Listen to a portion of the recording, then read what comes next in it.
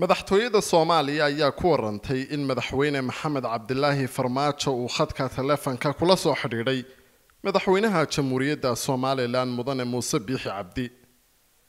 Qoraal lagu baahiyey barta bogga facebook ee madaxtooyada soomaaliya waxaa lagu sheegay in madaxweyne farmaajo uu la wadaagay walaalkii muuse biixi cabdi. Tiiraanyada iyo walaaca ku aadan dhibaatada soo gaadhay ganacsatada soomaaliyeed ee magaalada hargeysa isagoo soo bandhigay sida ay uga go-an tahay dowladda federaalka soomaaliya inay garab istaagto dadka ganacsatada ah ee ku hantida beelay musiibada dabka magaalada hargeysa.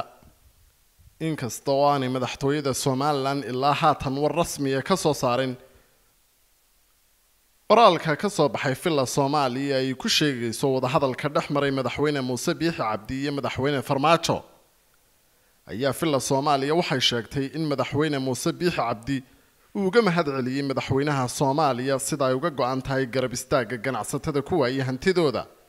Dabka xalay ka kacay suuqa magaalada hargeysa. Dabka ayaa habeennimadii xalay ka kacay suuqa ugu weyn magaalada hargeysa iyo guud ahaan somalilan ee waaheen kaasi oo ay ganacsato badanina ku waayeen hantidoodii. Axmed maxamuud yuusuf telefishan kasaab hargeysa. Qoonmaal islaam io fatwa. Ma qabtaa weydiimo diini ah.